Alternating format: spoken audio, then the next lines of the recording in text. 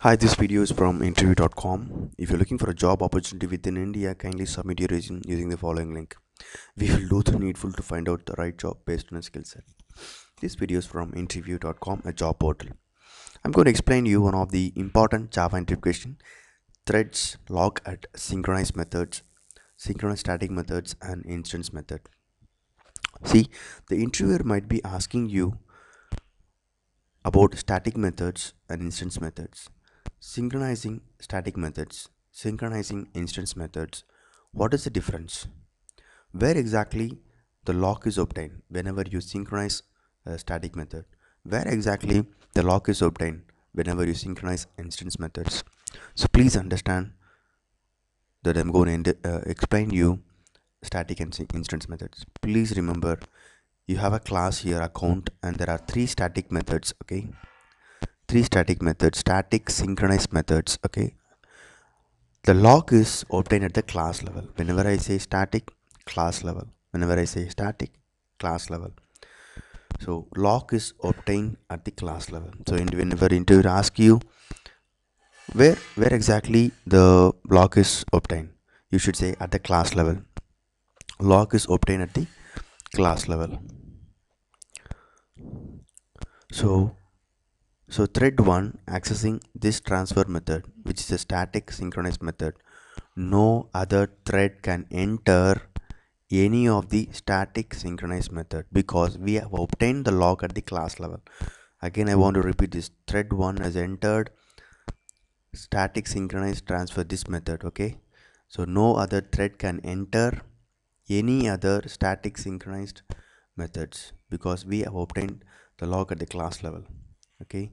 But the interviewer might be asking again one more question. Can other threads can enter instance synchronized methods? Yes. Can thread enter other non-synchronized instance methods? Yes. Can th other threads enter non-synchronized static methods? Yes.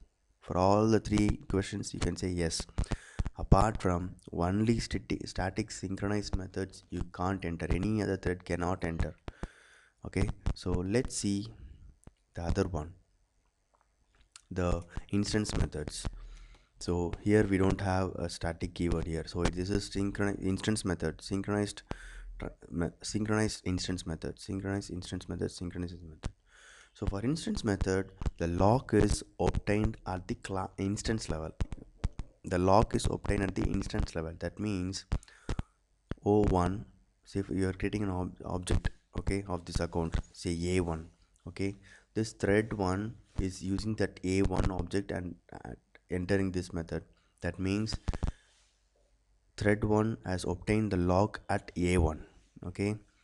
So no other thread can use this a1 object and enter other methods it's very simple. Whenever you enter enter a synchronous instance method okay in a class you are obtaining lock for that particular instance. So using that particular instance no other thread can enter any of the synchronized instance methods.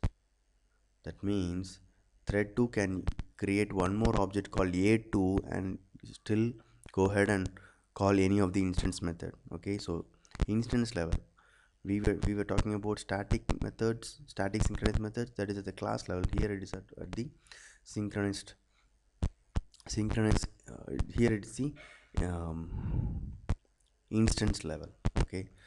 So again i'm going to ask you three questions. Can other thread enter the synchronized instance method in this class using the same object? No.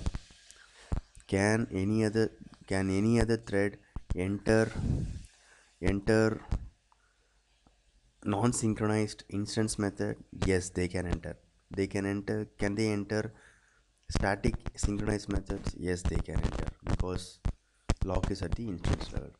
Hope this video is useful for your interview preparation. So please be clear lock at the class level lock at the instance level. Which thread can enter what where when please remember okay?